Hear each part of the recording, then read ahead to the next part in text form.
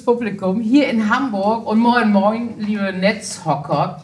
Unser Comic Talk konnte sein Nomadendasein beenden. Wir haben ein Zuhause gefunden in Hamburg bei Alsterfilm. Wir dürfen unsere Sendung jetzt immer aus einem richtigen Studio machen. Ich könnte weinen vor Glück, ich tue es nicht, mein Make-up würde verwischen. Mein Name ist Hella von Sinn. Ich liebe Comics und das teilen meine Gäste und Gästinnen mit mir. Und ich darf Ihnen bitte vorstellen, unsere heutige Runde. Äh, begrüßen Sie bitte mit mir Naomi Fern.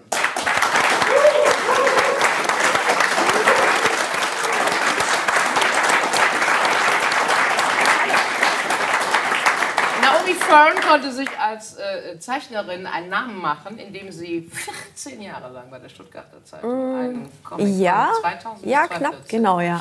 Den Zuckerfisch, der ist Ja. danach auch dann nochmal, hat den Weg in die Bücher gefunden. War Genau. im ersten Zeitungsstrip. Genau.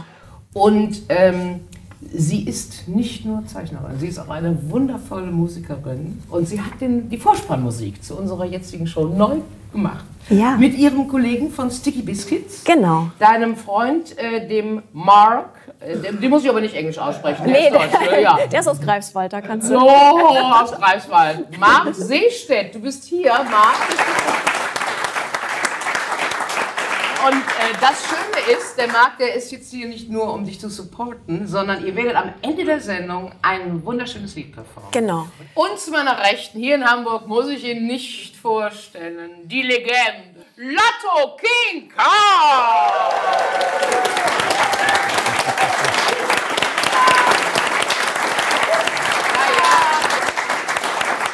Bist mit den Barmbek Green Boys bist du äh, zugange und ihr macht jetzt im Mai habt ihr ein neues Studioalbum Genau, was es gibt am, am 12.05. ein neues Album. Heute war die Ankündigung, dass man ab jetzt auch vorbestellen kann. Ähm, damit wir die beiden Alben auch wegbekommen, die wir gemacht haben. Und Was ähm, hast du für eine Auflage? 150? ja, nicht so viel. Es ist schon, es sind schon, es sind schon ein paar, paar tausend mehr, aber ähm, ist unser erstes Album äh, seit sechs Jahren. Ja, wir werden es alle kaufen und hören. Das ist eine gute Idee. Übrigen ist jetzt frisch erschienen von dir ein Band von Asterix und Obelix. Asterix, Boje Breden. Genau. Richtig. Da kommen wir gleich drauf zu sprechen. Ich möchte gerne vorher den wunderbaren Volker Roban begrüßen. Robran, Robran, Volker Robran. Bleiben wir beim Vornamen. Beim Volker, Vornamen. Das ist der Volker! Der wird in Zukunft glücklicherweise immer hier sitzen, denn im Gegensatz zu mir ist er ein Experte. Er moderiert auch hier bei Massengeschmack TV eine Sendung Sakura. Und äh, Lotto, ich weiß, du bist natürlich äh, als Stadionsprecher auch und Hamburg, meine Perle und so, totaler Fußballfan. Du bist aber auch ein Comic-Fan. Oder würdest du sagen, nö, die haben mich gefragt, weil ich Hamburger bin mit dem Asterix, ich habe sonst mit Comics nichts am Arsch. Äh, eigentlich war es so. Ähm, also tatsächlich, tatsächlich ist es so, dass ich. Äh, ähm, äh, ist verkehrt rum, Was ist verkehrt rum? das Buch. So, so ist rum. Jetzt ist rum. Ja, Hase, ich halte das schon lange genug in die genau. Kamera. Also, Vertrau mir. das ist und das- außerdem kann ich So, ist es richtig, genau. Natürlich, so ist es äh, richtig. Äh, ähm, nein, und äh, ich habe ähm, ja auch in Vorbereitung auf diese Sendung mal wieder Comics gelesen und ich glaube, ich habe äh, äh, ich habe überlegt, ich glaube, ich habe vor 40 Jahren das letzte Mal einen Lucky Luke gelesen. Aber ich habe mich eigentlich für Comics immer sehr interessiert, so, aber das ist dann irgendwann so ähm, ein bisschen in den Hintergrund geraten, weil ich dann eher andere Bücher gelesen habe. Aber ich fand es jetzt sehr interessant. Also das, und ich habe auch in den Vorgesprächen festgestellt, dass ich äh, mehr Ahnung von Comics hatte, als ich gedacht hätte. Ja, ne?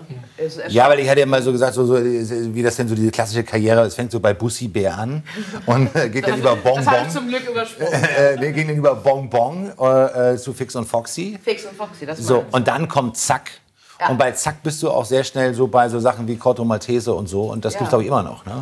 Ja, das wird jetzt, äh, das besprechen wir in der nächsten Sendung. Genau. Ich wollte den Cliffhanger jetzt schon mal bringen. Also ja, vielen absolut. Dank, dass Sehr ja. professionell, danke dir. Lieber Chris, komm mal bitte, Schatz. Weil du hast direkt bei der Übersetzung von äh, diesem Orserix, Boy, Boy Brieden, Genau. auf der ersten Seite meine Lieblingspointe verprökelt. De, äh, und vor allen Dingen, du hattest ja viel mehr Freiheiten als wir. Wir haben letztens Weihnachten äh, ähm, für die Simpsons, wir haben die Simpsons auf Deutsch gemacht, äh, auf Kölsch, auf Kölsch. Kölsch gemacht, mit Monika Salchert und Cornelia Schill und ich. Hör mal, und diese, dieses Simpson-Syndikat, die sind ganz schön streng. Da war nichts mit mal eben hier äh, improvisieren. Wir mussten uns da klar, wirklich äh, an, an, an alles halten. Und du durftest ein bisschen improvisieren indem du deine Fußballliebe hier definitiv mit unterbringen durftest. Ja, also ich habe zu Anfang gefragt, wie eng das sein sollte, weil ich fand diese reinen äh, Mundart-Übersetzungen dann auch auf Dauer ein bisschen langweilig, weil man mhm. kennt natürlich, man ahnt ja, wo es, worauf es hinausläuft bei Asterix. Und ähm, deswegen wollte ich so ein, klar, die Geschichte ist ja vorgegeben, aber ich habe oft gefragt, ob es ein bisschen freier sein kann, weil ich glaube, dass es dann noch irgendwie lustiger wird. Und äh, wir haben eben auch so ein paar Sachen mit eingebaut, die, glaube ich, auch diesen Geist von Asterix so ein bisschen auch featuren. So es ist zum Beispiel das Rugby-Spiel findet tatsächlich am Rugby-Stadion statt, wo wir dann diese Bundesstraße in London auch korrekt bezeichnet haben. Also wer sich das ja, nachgucken will, findet das und die Szene, auf die du anspielst. Ja, ist, die, wir die haben spiele ich nicht beiden, an. Die werde ich jetzt mal eben okay. unserem geneigten Es geht um die beiden Fußballclubs von, von, von in so, Hamburg. Ihr kennt ja alle Asterix und Obelix und da müssen ja die Piraten, die müssen ja dauernd scheitern, ne? egal wem sie begegnen, ob einer römischen Galeere oder eben unseren berühmten Gallier. Und da gibt es ja diesen sehr, sehr alten Wikinger, der dann immer ein kleines lateinische Schnarch mich an Zitat hat. Deswegen durften wir auch in der Schule Asterix und Obelix lesen, weil genau. unsere Lateinlehrer das sehr unterstützt genau. haben. Und er sagt im Original, ich habe mir das im Original Asterix bei den Briten mal nochmal angeschaut, er sagt im Original, oh die glücklichen Landleute, würden sie ihr Glück doch kennen, auf Lateinisch. Du hast aber sehr pfiffig von der Hymne You Never Walk Alone Hast du auf Lateinisch übersetzt? When you walk through the storm, hold your head up and high and don't be afraid of the dark. Das fand ich leider sehr komisch. Und du hast mir gerade eben hinten erklärt, dass du diesen Text auch wirklich original in Lateinisch übersetzt hast. Ja, genau. Cum ambula veris in temestate tace et noli. Man muss eigentlich wie der Papst so vorlesen. Dann ja, ist besser. ja. Cum ambula veris in temestate tace et noli timere tenebras altum caput. Ja, ja, ja. So, ja, aber, ja, du musst es eigentlich. Ja. Naja, ich habe also Obelix äh, ist natürlich HSVer, weil er ja auch nachher auch gewinnt und er spielt ja quasi in der Champions League dann mit, sowas gab es ja hier auch mal. Und er hat eine Hose an in den Farben schwarz-weiß-blau, deswegen passte das sehr gut.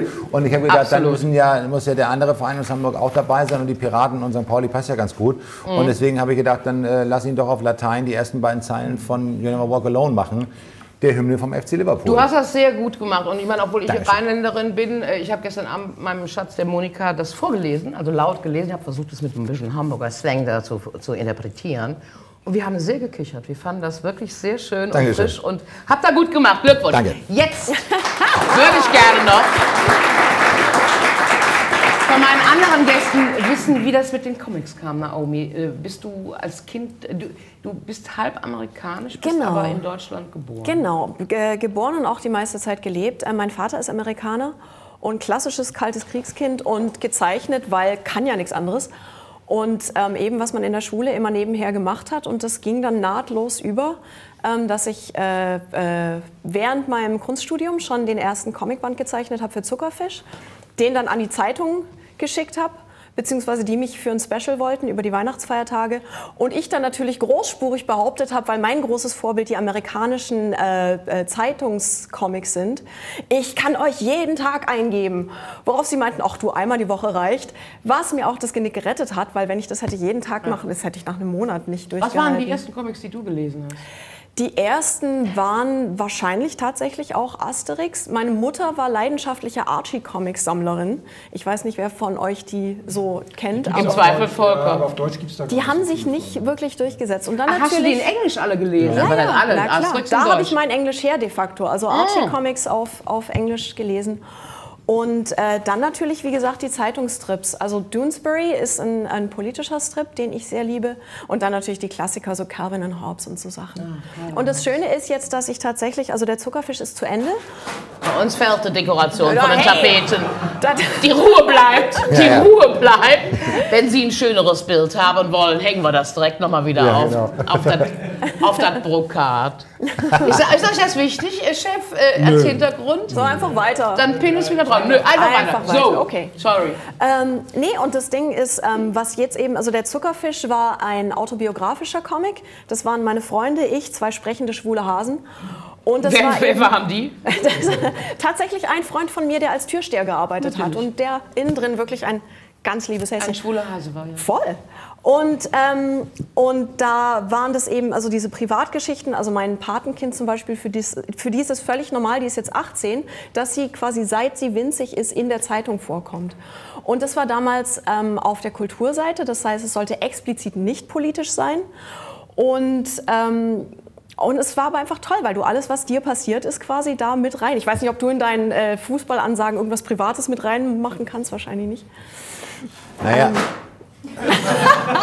Jetzt ist es ganz unten. jetzt ist es ganz unten, genau. Äh, naja, wenn du äh, zwei Jahre Relegation hast, dann bleibt dir nichts anderes übrig, als, als äh, auch was Privates zu sagen. Und äh, der, der Vorteil an dem Job dort ist ja der, dass man äh, keinen Kardiologen mehr braucht, wenn man den, den Abend überlebt hat. Aber äh, äh, ja, bei Musik ist natürlich was. Ja, Musik ist genau, sehr persönlich, ja. ja. Wieso hat es dann beendet? Hast du es beendet oder hat die Stuttgarter Zeitung gesagt, wir können keinen Comic mehr gebrauchen? Das war tatsächlich, also über die Jahre sind auch die Redakteure um mich rum immer weniger geworden. Das, den Zeitungen geht es ja auch nicht so dolle. Und Mhm. ich habe wirklich die ganze Zeit durchgehalten. Und deshalb war das dann, als sie sagten, jetzt ist, jetzt ist mal gut, habe ich gesagt, okay, nach 13,5 Jahren, da ist auch völlig Und Musik okay. war immer parallel oder hast du mit der Musik erst danach angefangen? Musik ist erst so seit acht, neun Jahren. Ah ja. Und das Schöne ist, ich habe jetzt aber kürzlich, also ich hatte jetzt quasi anderthalb Jahre Pause und jetzt seit drei Wochen mache ich für den Tagesspiegel in Berlin. Äh, die kamen auf mich zu und da mache ich für die Mehr Berlin-Beilage samstags jede Woche einen politischen Comic. Hey. Explizit über die Hast große... du Protagonisten oder machst du wie eine Cartoonistin, äh, äh, bebilderst und kommentierst du das Geschehen? Äh, na, das war, und zwar explizit ist es ähm, die Koalition, die jetzt Berlin reg- regiert, also Rot-Rot-Grün. Mhm. Und das ist quasi da die, die Obersten, also der Michael Müller, der Bürgermeister, dann Ramona Popp von den Grünen, Klaus Lederer von der Linken.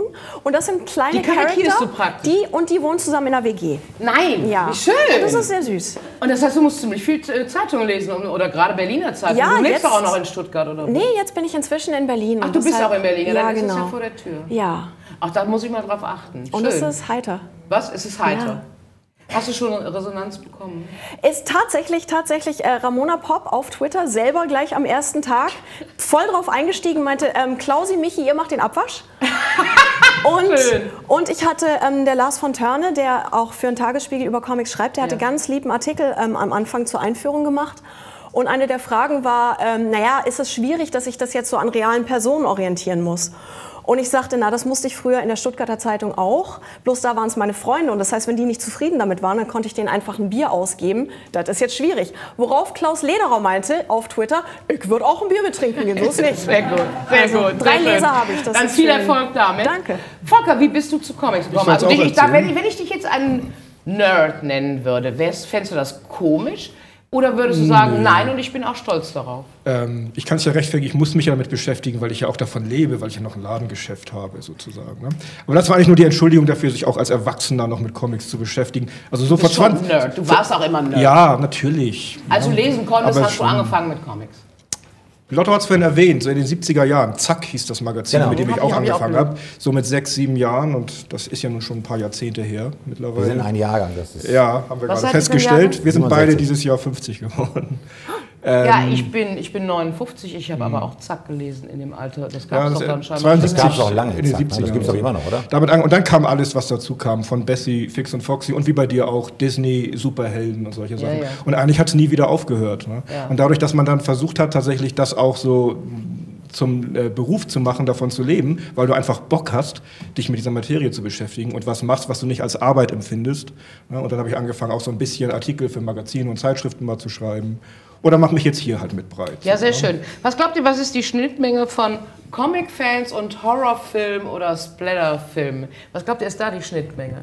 Comic-Fans und Horrorfilm. Das ist ein schönes Venn-Diagramm, das sich, glaube ich, so halb, halb zu 50 Prozent, oder? Ich bin immer noch ganz geschockt, dass Berlin überhaupt eine Regierung hat. Das wusste ich gar nicht. Aber, Nein, aber ich glaube, die ist relativ groß, die Schnittmenge. ne? Also nach den Büchern, die wir hier vorher gelesen Es haben. gibt natürlich noch mehr, glaube ich, Horrorfilmfans als Comic-Fans, Ja. aber die Schnittmenge dürfte ordentlich Dürfte sein. ordentlich sein, ne? Und deswegen kommen wir zu unserem ersten Büchlein heute Abend, bitte. Das ist Survivor Girl von Tauber, Römling und Liersch. Und äh, das gefällt mir persönlich sehr gut. Das ist beim Zwerchfell Verlag erschienen. Und das kostet tatsächlich sein Geld. Das kostet 16 Öcken. Und ich finde, es ist jeden Cent wert. Alleine durch das Cover. Sie machen es als Cover, also sie machen die ganze Form als eine VHS, eine alte VHS-Videokassette. Inklusive FSK-Logo und Videothekenaufkleber. Genau, solche Sachen. genau, genau. Das ist wirklich sehr, sehr schön gemacht. Und äh, die Protagonisten, die kennt man. Vielleicht kannst du da kurz was sagen mit den Toten. Da habe ich über Erlangen neulich Kontakt zu gehabt. Das hat mir überraschend gut gefallen, die Toten. Der Ingo Römmling ist ja, Ja. dabei, der als Autor ist, genau. Und die Toten, die hier auch hinten bei uns stehen. ja. Genau. Naomi möchte auch was dazu sagen. Ähm, ich, ich, Zwerchfell ist, ist ja mein Hausverlag, Ja. wo Ja. auch meine Comics erschienen sind. Und ich finde, äh, Ingo ist, also behauptet, wir haben so viele tolle Zeichner in Deutschland, aber ich würde sagen, Ingo ist der Beste zurzeit. Können wir gleich noch was zu sagen? Vielleicht wollten wir erstmal den kleinen Film gucken, in dem uns der F- äh, Survivor Girl Sehr vorgestellt gute Idee, dann wisst ihr wenigstens, wovon wir sprechen. Ja? Selfie mit Zombie und Serienkiller. Für Survivor Girl Phoebe eine der leichteren Übungen. Zu Beginn des Sommercamps stellt Phoebe fest, dass sie sich nicht in bester Gesellschaft befindet. Doch Serienkiller Helmut sorgt für Abhilfe und bringt einfach alle um. Christopher Tauber und Ingo Römling schufen mit Survivor Girl einen klassischen, chronologisch erzählten Comicstrip, der unter Mitwirkung von Kim Liersch beendet wurde. Doch statt in einer Tageszeitung erschien Survivor Girl zunächst im Internet. Aber jetzt liegen die Strips mit den vielen Anspielungen auf Horrorfilme in Papierform vor. Nach dem verlegerischen Motto, wenn im Internet kein Platz mehr ist, kehren die Comics in die Bücher zurück. Ja, du, sagst, du sagst wirklich, er ist der Beste, den wir haben hier. Der- Moment würde ich sagen, auf jeden Fall. Also er macht ja auch, er zeichnet ja auch äh, Star Wars Comics, er macht seine schöne Serie Malcolm Max und der kann, also das Schöne ist, dass er auch äh, alles kann, also eben von diesen Steampunk-Geschichten bis zu so, einem, so einer Strip-Sache und dass er sich da auch nicht zu schade ist und sagt, was soll ich damit, sondern dass er sagt, nee, das ist genau so ein Format, möchte er zwischenrein mal raushauen. Darf man sich das trauen zu sagen, das ist im Moment der beste deutsche Zeichner? Ja, also auf jeden Fall ist er auch einer, der eben international arbeitet, der eine eigene Albenserie hat, der unheimlich viel macht.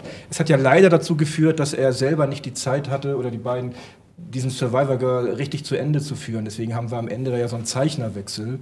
Sie haben ja eine Manga-Zeichnerin, ähm, Kim Jirsch, noch dazu genommen, die dann sozusagen das Ende gemacht hat, weil der Römmling tatsächlich so viel zu tun hat und so begehrt ist, Ja. dass er ihm tatsächlich die Zeit fehlte. Was auch der Grund ist, dass es mit der Serie jetzt leider erstmal nicht weitergeht, was ich auch schade finde. Ja. Aber ich darf was sagen, auch wenn ich die Kollegin Lirsch ganz toll finde, was die kann. Ich glaube, ich toll. weiß, was du sagen willst und Ja. stimme dir zu wahrscheinlich. Du stimmst mir zu, nämlich das, Das Ende ist ein dieses Stilbruch. Ding. Ja, dass es ein Stilbruch ist, ist ja klar, das darf man ja vielleicht auch. Aber ich finde, die Geschichte ist auf Seite 73 zu Ende. Die hört auch wunderbar auf mit der Pointe. Wir kümmern uns in der Zwischenzeit um den Störfaktor Schlampe. Und jetzt unabhängig von dem, von dem Stilwechsel hätte ich den Rest gar nicht gebraucht für die Geschichte. Stimmt.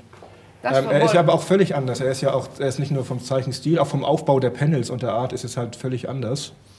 Ja, man kann es natürlich, im, es wird ja in dem Buch so ein bisschen erklärt, dass es ja so eine Art Rückblick oder Traum vielleicht sogar ist. Insofern darf der Stil ein bisschen anders sein. Ja, ja. Ähm, aber stimmt, es, ist, äh, es wäre vielleicht gar nicht unbedingt nötig gewesen. wäre, glaube ich, nicht nötig gewesen. Ja, aber, es gibt, aber es gibt im Ganzen, finde ich, noch so eine Twilight Zone-Ebene dazu, Ja. also noch ein bisschen mehr Tiefe fast. Also, aber du hast recht.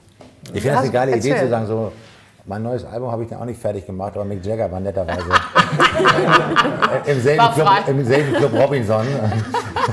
Und beim Tindern haben wir uns kennengelernt, dann hat er das gemacht, so wahrscheinlich. Aber ich wollte noch sagen, Ja, ähm, äh, äh, äh, das, das VHS-Cover, ist das auch schon eine Anspielung auf Sham 69, If the Kids Are United?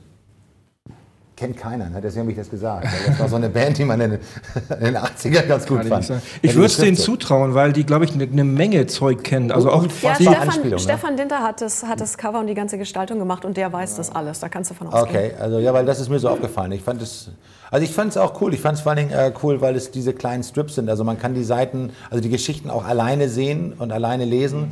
Und dann ist es auch okay. Man muss jetzt gar nicht das Buch als Buch lesen, sondern man kann es auch wirklich so nehmen. Das stimmt, es funktioniert beides. Genau, Also wie so typisch in der Zeitung oder als früher, wie das so in Amerika Geschichte. war mit diesen eine Seite äh, Comics und immer nur von links nach rechts und das ist dann die eine Geschichte von, was weiß ich, Peanuts. Ich habe da mal eine Frage an euch und auch vor allem an dich, weil du auch Künstlerin bist.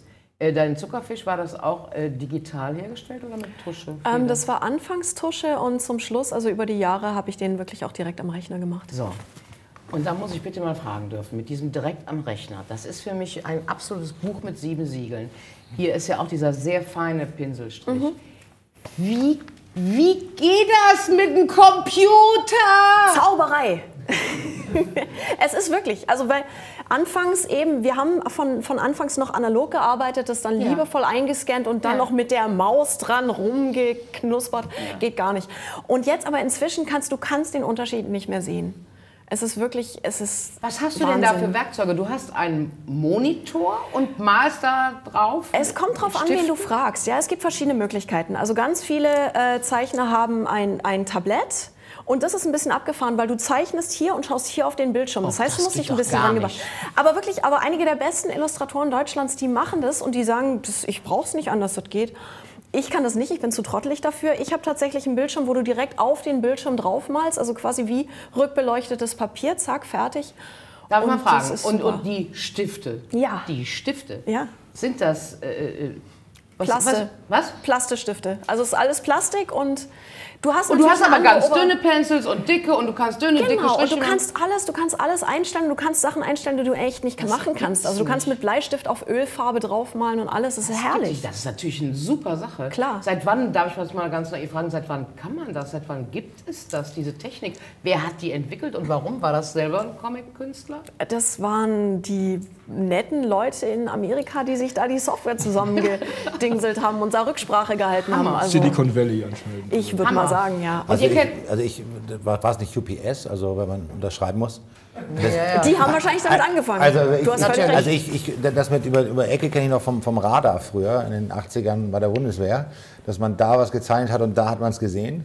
Aber ich stelle immer fest, äh, wenn ich bei UPS unterschreiben muss, dann guckt mich der Typ immer so an, dann gucke ich auf diese Unterschrift und denke mir so, ja, wenn ich dem jetzt sage, ich habe eine schwere Gehirntransplantation hinter mir und, und die rechte Hälfte meines Körpers gehört mir gar nicht mehr, dann sagt er, okay, dann lasse ich es gelten, aber ich finde das unglaublich schwierig mit diesem Medium äh, Ja. darauf was Ja. zu zeichnen. Da muss man sich doch umgewöhnen, Ja. Man muss sich auf jeden Fall umgewöhnen, weil die Oberfläche ja auch eine ganz andere Genau. ist. Weil du hast eben, aber es gibt inzwischen, also sie kommen auch den Künstlern so entgegen. Du hast inzwischen kleine Matten, die du drüber legen kannst und so, damit du die Haptik hast. Natürlich, Stift und Papier ist immer noch das Schönste, was du dann quasi, wenn du dich mal erholen willst, gehst du dann dahin. Aber du kannst inzwischen alles damit machen und du hast dich schnell umgewöhnt, eben weil sie darauf eingehen. Und darf ich mal fragen, weil ihr euch auskennt, gibt es da irgendwie innerhalb der Szene, ich weiß nicht, Animositäten oder sagen die, die nicht äh, äh, digital arbeiten, also nur sagen die, unsere Kunst ist jetzt irgendwie mehr Kunst? Gibt es da irgendein Theater Also bei euch? bestimmt. also bei uns im Atelier zum Beispiel, ich sitze mit Reinhard Kleist und Marvel und äh, Phil. Ach, mit Marvel und Phil, wie schön. Genau. Und ich sitze da aber und, und zum Beispiel Phil, der macht das alles noch von Hand. Wegen dem wir mussten gegen ihn acht Jahre lang kämpfen, dass wir überhaupt Internet im Atelier haben jetzt. Und ähm, da gibt es also ein großes Hallo. Wir dürfen auch nur ganz leise Rechner haben, die man nicht hört, weil es darf eigentlich gar nicht auffallen, dass da Elektronik im Haus ist. So, also es gibt schon Meinungen, sage ich jetzt mal. Ja, Meinung. Ja. Ne? Äh, Aber du bist dankbar, du sagst, er hat es vereinfacht. Äh, Ich kann so Du sagst aber auch, wenn ich mich ausruhen will oder erholen will, male ich mal wieder schön auf ein Stück Papier. Ja, das sage ich jetzt so. Und dann sitze ich da und habe was gemalt und kann keine 17 Schritte zurückgehen und dann ist das Bild versaut. Also das ist auch nicht wirklich das Erholung. kann man alles. Ne? Ja. Das ist schon faszinierend. Das ist so toll. Das ist schon faszinierend. Ja, toll. Also, ich, hab's, ich, ich liebe es. Ich, ich bin jetzt nicht ein riesen Horrorfan, aber natürlich kennt man die bekannten Dinge. Also sowieso, klar, Psycho von Hitchcock sowieso ist eine Hommage. Aber die tauchen schon tief ein. Also da sind ja auch viele Fußnoten und Anmerkungen immer unten drin, zu welchem Film und so das bezieht. Also das ist nicht nur bei den zwei, dreien wie Halloween oder Vater 13. oder Freddy Krüger, die jeder kennt. Da wird schon sehr, sehr speziell. Ich finde aber Freddy Krüger sehr sympathisch in dem Buch. Sehr sympathisch. Also, ich finde äh, auch den Massenmörder extrem süß. Helmut Ja. halt. Ja. Er heißt Helmut. Er heißt Helmut. Aber Freddy Krüger, das Pizzagesicht, aber das fand ich schon, ehrlich, sag das mal einer. Ja, Also- na, das haben sie schön gemacht, in der Tat hier unten mit Fußnoten. Und du hast praktisch wie so ein Audiokommentar, wirklich auf einer DVD oder auf einer VHS damals, mit dem Audiokommentar der, der Künstler. Das ist ein sehr originelles Ding. Das ist total süß und liebevoll und wirklich hervorragend gezeichnet. Ja. Und die Pointen zünden nicht alle, aber viele zünden sehr gut. Und ich habe das voller Freude gelesen. Und du auch, Digge. Ja, ich fand es, ich, also ich hatte es auch, hat mich ein bisschen auch an, an Mad erinnert, die ja auch mit Ja. sehr vielen Ja, genau. Anspielungen und so gearbeitet haben, so in den, in den, in den, Ja. in den Titelstories. Und das ist das Schöne bewusst dran, so. genau, Manchmal werden eben so, äh, Entschuldigung, äh, so dumme Fragen gestellt, auf die es dann sehr dumme Antworten gibt. Das ist Ja. sehr schön im alten Mad-Stil gehalten. Ja, das sagt er auch hinten im, im, im Abspann.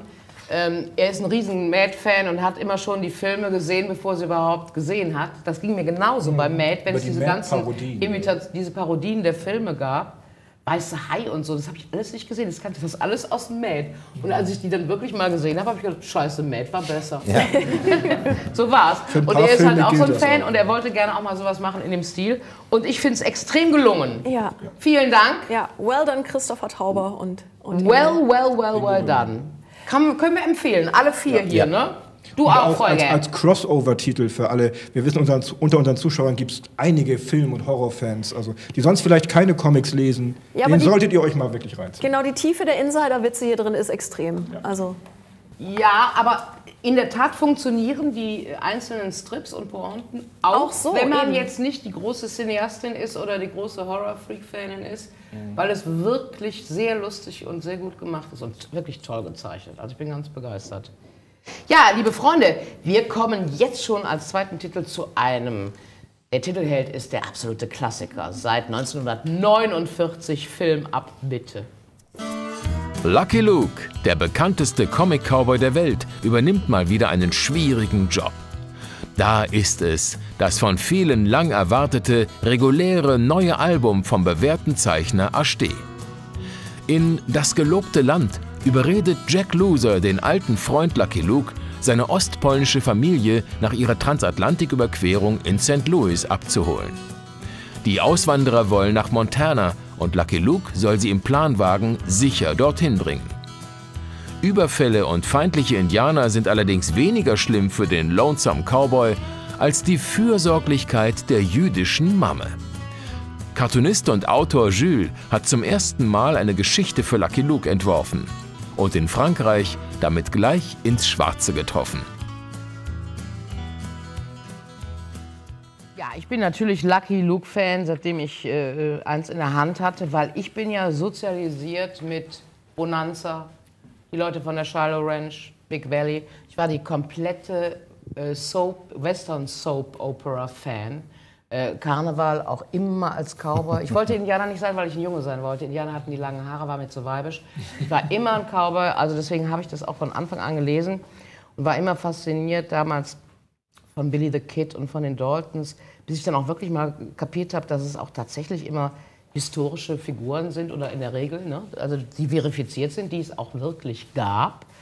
Und jetzt haben die sich was getraut. Der, der, der Szenarist, der Jules, der ja auch äh, lange Jahre Lucky Luke-Fan war und immer auch die historischen Persönlichkeiten und bla und die Bezüge sah und las, der hat sich jetzt wirklich getraut, orthodoxe osteuropäische Juden in den Wilden Westen zu schicken. Und wir haben sehr viele köstliche kleine Pointen mit Koscher und nicht Ich Koscher. Und ich finde es auch wirklich gelungen. ja. Wirklich sehr gelungen. Und bin gespannt auf euren Eindruck von dem Band. Ich fand ihn klasse. Ja. Ich fand den echt super. Und es ist also genau wie jetzt in dem kleinen Film erklärt wurde, weil ja immer so viele historische Hintergründe dabei sind. Also es sind so einige Sachen dabei, wo man und das ist ja das Ideale, was so ein Comic eigentlich will. Also er ist extrem unterhaltsam. Man lernt was und, weil wir jetzt in der Zukunft leben, man kriegt sofort Bock, dann Sachen nachzugoogeln, weil da werden ja einige Theorien auch aufgestellt und so, wo man sagt, ist das tatsächlich ein Ding? Ist das was, worüber Leute spekulieren? Ich schaue es mal nach. Ja, das ist lustig, dass du das sagst, weil so ging es dem Heli, also mir. Von wegen, weil ich das auch googelte, dass da immer über den Morris, dass da immer so viele historische, wichtige Fakten sind. So, ich blätter hier rum. Ach genau, junger Freund, Chris, wo bist du? Du kannst noch mal zu der dicken Tante bitte kommen. Ich blätter hier rum. Einwanderer, Einwanderer, Einwanderer, Einwanderungsbehörde auf Seite 10. Hier oben, ja genau, das lieb mal eben hier, das zeigen. So, um dem Elend und der Verfolgung in Russland, Polen und ganz Osteuropa zu entfliehen, wandten sich immer mehr zahlreicher diesem neuen gelobten Land zu. Jetzt sagt er hier, der Vorname ihres Sohnes, Mrs. Einstein, und sie sagt Albert. Und da unten haben wir ein kleines Kind, was exakt aussieht wie Albert Einstein. So, jetzt wusste ich aber, hm, Albert Einstein ist doch in Ulm geboren. Und wir haben hier 1846, nee, 1869. So, dann habe ich weiter gelesen, also auch sein Vater ist gebürtiger äh, Stuttgarter oder was auch immer, also das ist alles sehr deutsch mit Herrn Einstein. Vielleicht kann mir einer von euch erklären, warum sich dann so eine Pointe da verirrt und mich an der Nase rumführt, dass ich kurz versucht bin zu denken, weil Albert Einstein ist, glaube ich, in Amerika auch gestorben und hatte die Staatsbürgerschaft auch. Und ich plötzlich dachte, wie, wie war das gar nicht Ulm? Ist der eingewandert und der war doch gar nicht so alt? Warum, warum ist dann so eine Pointe drin, die mich auf die falsche Fährte leitet? Da sind einige solche Sachen drin. Also Ja, du, ne? du hast, du hast auf, direkt auf derselben Seite, glaube ich, noch den Sigmund Freud, der da auch in Analyst Ja, Marx Brothers sind auch da. Äh, Hollywood, wir mögen keine Also ich mag das ja auch, ich finde die Anspielungen ja auch schön und die gehören ja auch bei Asterix und bei Lucky Luke immer irgendwie mit dazu. Aber es ist hier fast manchmal schon ein bisschen zu viel, fand ich. Ähm, also zum Beispiel, wir haben hier, ich habe mir das sogar auf dieser Seite, die du gerade aufgeschlagen hast, auf einer einzigen Seite haben wir Albert Einstein, die Marx Brothers, Gotham City, Bill Gates und Harry Potter. So ist es. Clinton. Und da haben wir langsam auch mal so einen Overkill an kleinen, äh, netten Anspielungen, finde ich. Und die sind nicht immer sinnvoll oder manchmal sind sie einfach nur so da. Ne? Und da ist es dann manchmal vielleicht auch ein bisschen zu viel. Ja, weil schön fand ich Richtung. zum Beispiel, ähm, weil dann wird später erklärt, dass zum Beispiel Buffalo Bill und einige dieser berühmten äh, Alle Persönlichkeiten jüdisch waren. alle jüdisch Ja, waren. ja, das finde ich auch So. wieder interessant. Aber das ist genau meine Irritation. Genau. Ja. Da sind dann Informationen, die wirklich tatsächlich faktisch sind Ja. und nicht postfaktisch. Dann sind natürlich super Gags drin, da freue ich mich auch drüber. Ich weiß aber nicht, wie ich so ein Band dann lesen soll, wenn ich eigentlich denke, alles, was die mir erzählen, ist, ist Das vielleicht, ist vielleicht wahr. alternative faktisch. faktisch. Also Ja, was mir, was also mir aufgefallen ist, also als ich das gelesen habe, es gibt ja auch eine Anspielung auf Star Wars, äh, wo dann die Mutter, die, die Mame plötzlich sagt, ich bin deine Mutter und Lucky Luke hat einen Albtraum. Genau, äh, Luke, Luke, Luke, ich bist bin bei deiner deine Mutter. Mame. Äh, genau, oder deine Mame, genau. Äh, ich habe da gedacht, äh, jetzt verstehe ich, wieso man mir bei Asterix so viel Freiheiten gelassen hat, weil ich dachte mir, da geht auch ein bisschen um. Was mich da ein bisschen gestört hat, ich finde es ich find's auch sehr gelungen, aber ich fand es äh, ein bisschen schade, dass äh, die Tora, die sie bei dem Indianerstamm bekommen, eigentlich schon... Spoiler Warning.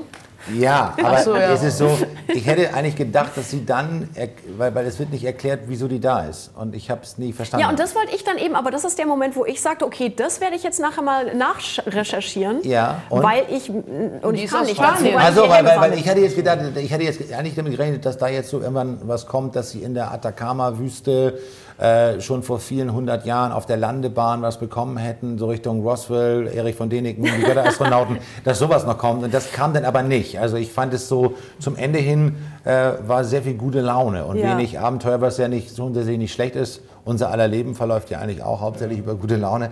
Aber äh, äh, da habe ich nur gedacht, das hat mich ein bisschen gewundert, weil es eben zu Anfang so viele Anspielungen gab und auch so mal gewagte falsche, wo man eben sagt, gut, dann ist er halt jüdischer Abstammung, aber er kommt nicht wirklich daher.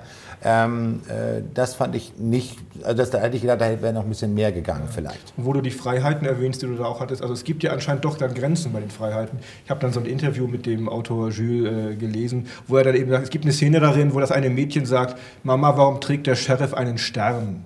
Ja, ja. Und der Autor wollte eigentlich sogar daraus einen gelben Stern machen. Das war dann doch too much, Und da ja. haben sie dann irgendwann nochmal gesagt, ähm, das ist ein bisschen Ja. zu heftig. Und vor allen Dingen, es hat ja auch in der Szene in dem Sinn, also es, jeder versteht die Anspielung, Ja, ja, aber ja. es, es, macht passt, keinen es Sinn. macht eigentlich keinen Sinn. Ja Ich habe Sinn aber, es ja, macht eigentlich ja. keinen Sinn und ich habe auch ehrlich gesagt ein bisschen geschluckt. Also ich gebe es Ja, ich auch, weil, ja. weil wir, aber wir Deutschen da eh so Also sehr selbst so bei dem Stern schluckt man ja noch. So ein Bitte? bisschen. Selbst so bei dem trägt einen Stern schluckt man ja vielleicht. Äh, sag mal, der Morris hat ja bis 77, bis zum Tod von, heißt er nicht Goscinny oder Goscinny, habe ich immer gesagt. Wie heißt der? Goscinny, glaube ich. Goscinny?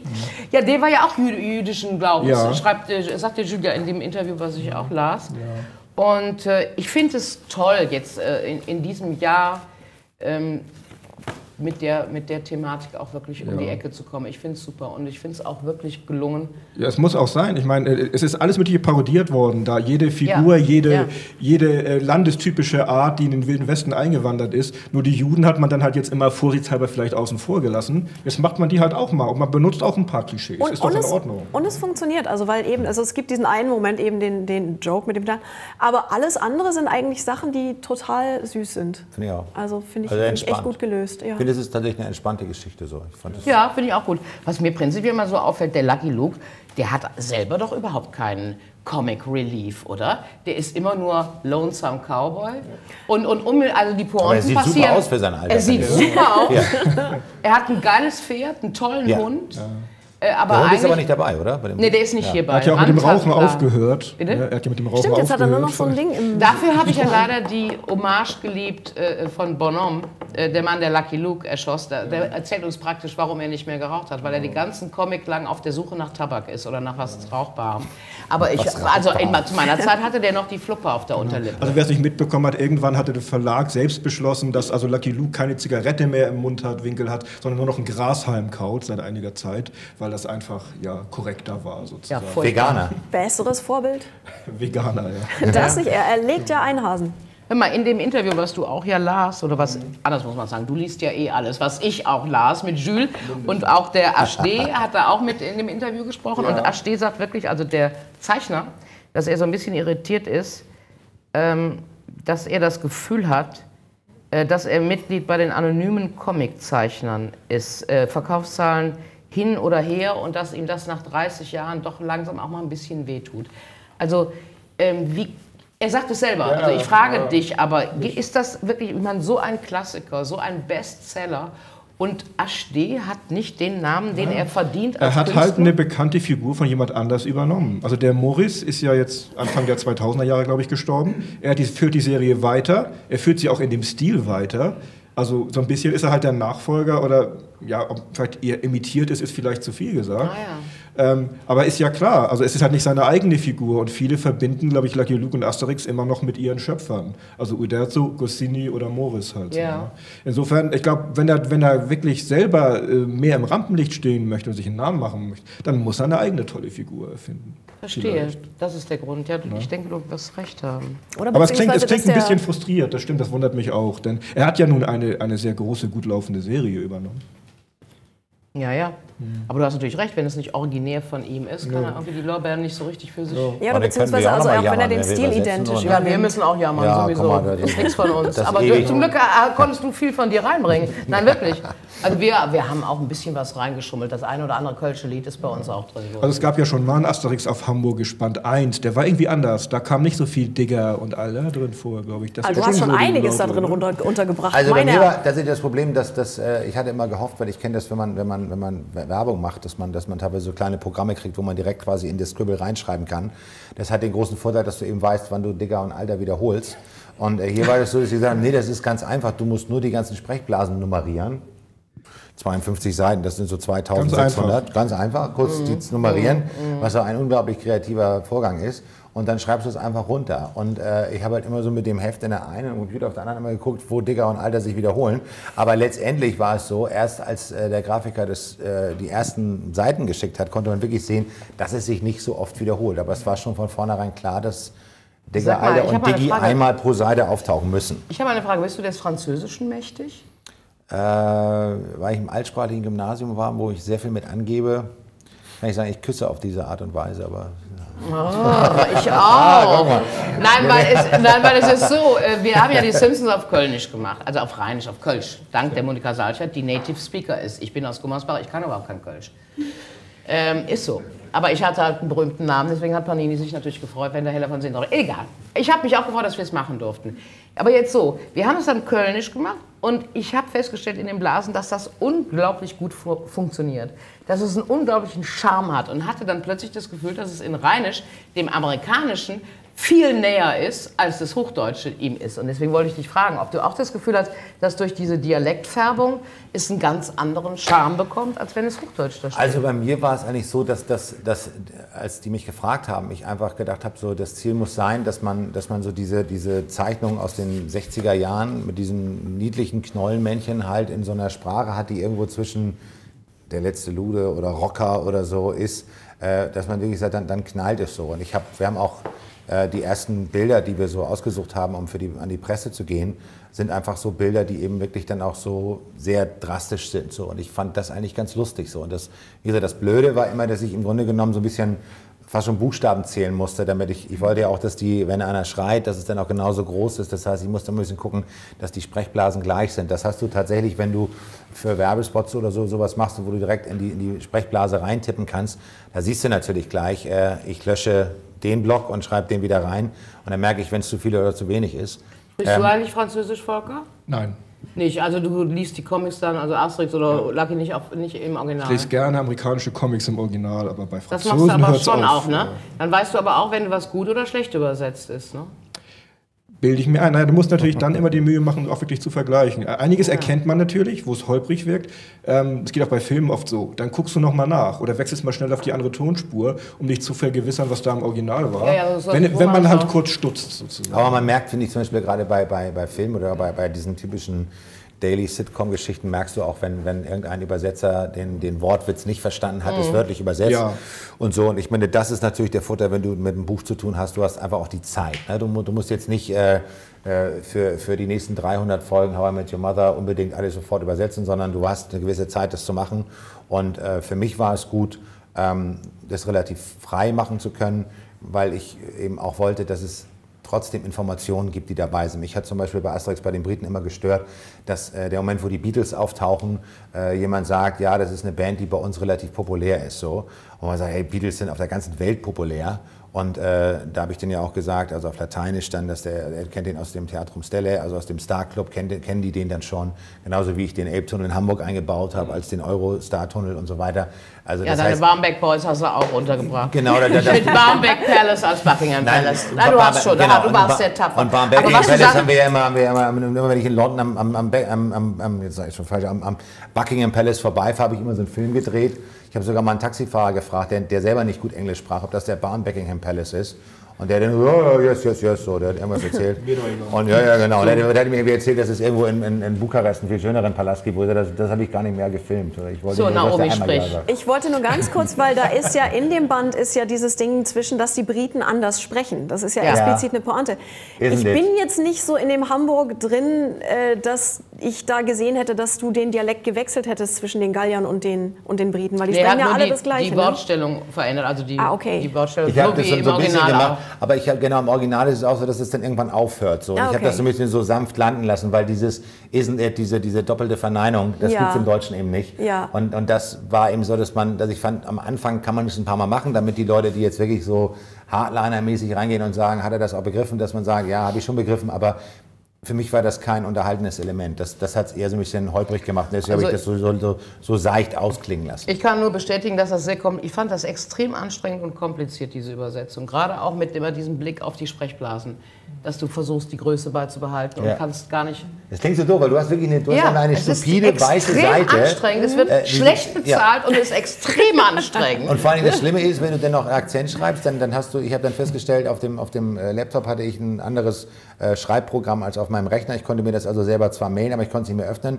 Dann habe ich das an, an, die Frau meines des Gitarristen meiner Band geschickt, weil der sagte, ich glaube, die hat das. Die hat das dann rauskopiert und mir in Plain Language als äh, Fließtext äh, per Mail zurückgeschickt.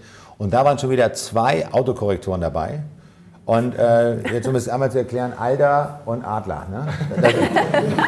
also ich, ich glaube, ich habe, ohne Scheiß, ich habe zehnmal so lange daran gebraucht, diese verdammte Autokorrektur nochmal durchzunehmen, wo wieder ein roter, wenn, wenn nicht genügend rote Kringel drunter waren, habe ich schon gedacht, jetzt hat er mir wieder alles, alles kaputt gemacht.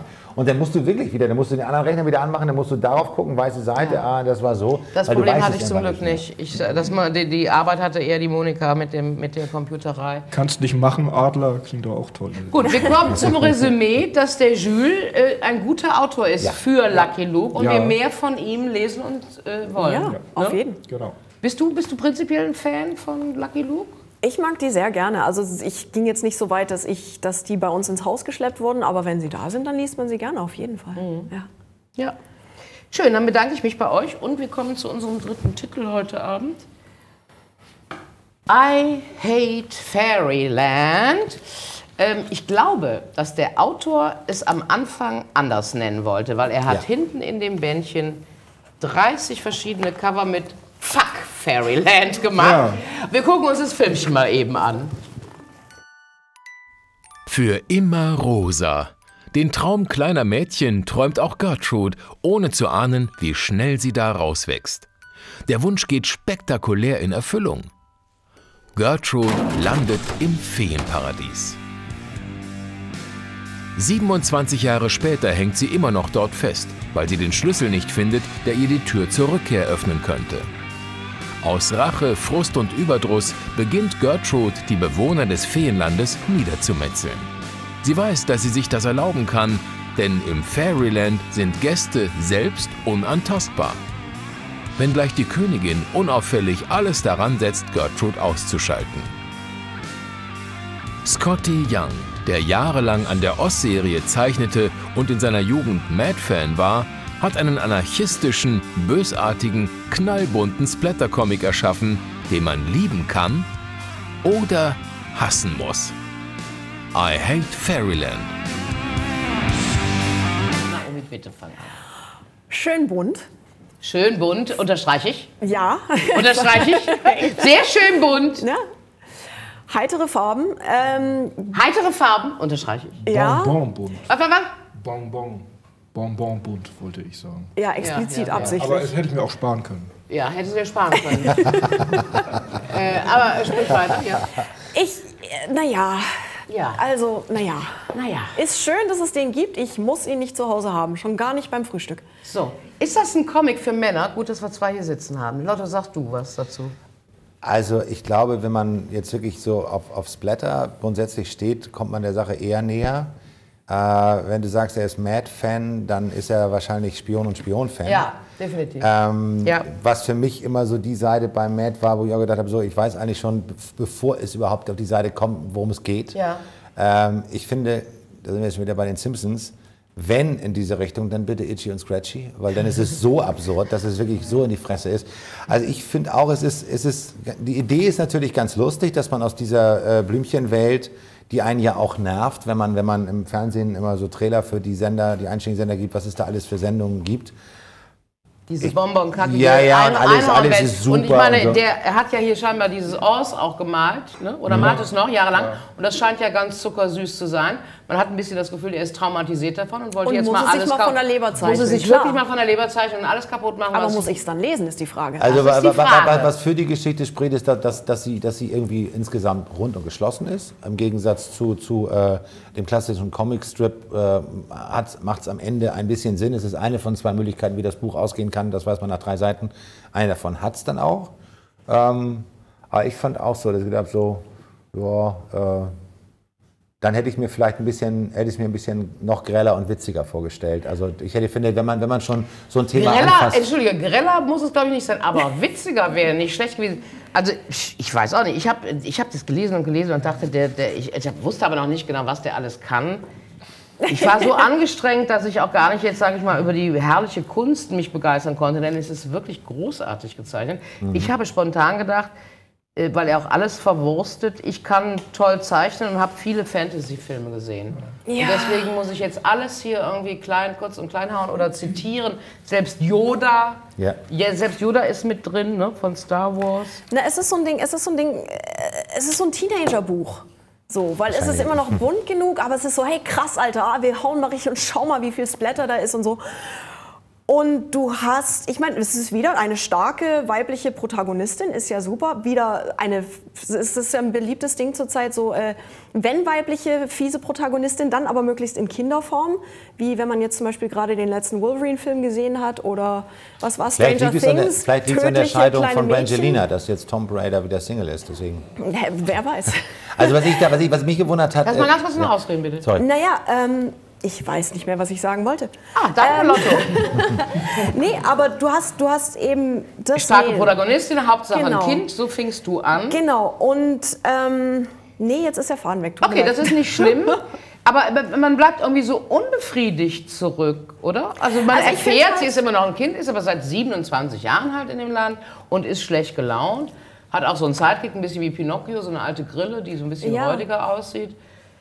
Du musst uns, glaube ich, helfen, was wir davon zu halten Nö, ich, haben. ich kann eigentlich Lotto da auch nur zustimmen. Er hat ja gesagt, die Grundidee ist toll. Also dieses äh, kleine Mädchen, das diese Fairy-Märchenwelt gar nicht so süß findet, das da raus will, das zornig ist, diese verzerrte Grimasse hat, das fand ich auch eigentlich ganz witzig und originell. Also so für fünf Minuten. Ich weiß, jetzt ist mir Und eingefallen. äh, Ist es dir eingefallen? Sprich weiter, sprich Mark Und your words.